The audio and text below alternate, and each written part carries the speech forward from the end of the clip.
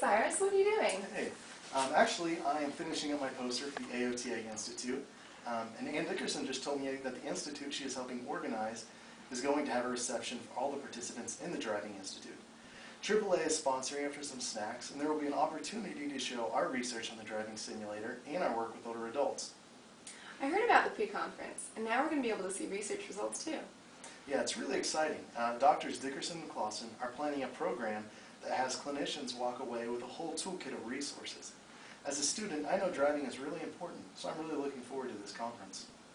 The Institute is going to introduce new assessment tools for clinicians, including the assessment of readiness for mobility transition, which can be used to discuss community mobility. There are going to be descriptions of the issues of driving and mobility and how they can be built into occupational therapy intervention in general practice settings. Yeah, the other exciting contribution is a description of how to assess driving in teenagers with autistic spectrum disorder and teenagers with anxiety. Uh, there's also going to be a description of the military program for TBI. Uh, there's going to be over 10 presenters who have done work in this area. So it sounds like we both need to sign up. The title is Driving Through the Lifespan, Evidence and Practice Steering the Way. Hi, I'm Miriam Monahan from the University of Florida. Dr. Sherrilene Classen and I have been studying adolescents with attention deficit hyperactivity disorder and autism spectrum disorder in relationship to their driving abilities. At the Pre-Conference Driving Institute, we will be sharing some of our findings of, of this research. These findings will support therapists in their work as they identify when these youth are ready to pursue driving. Looking forward to seeing you Hi, there. everybody.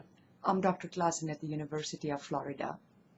One of the main reasons that I'm going to conference this year is to participate in the pre-conference Driving Institute.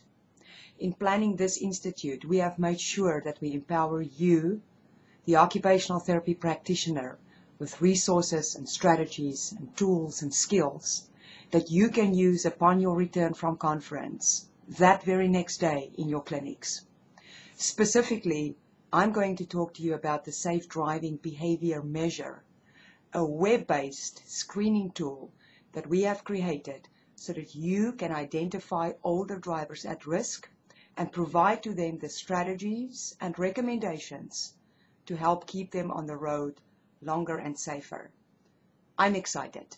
I hope you are too. And see you at the Pre-Driving Conference Institute.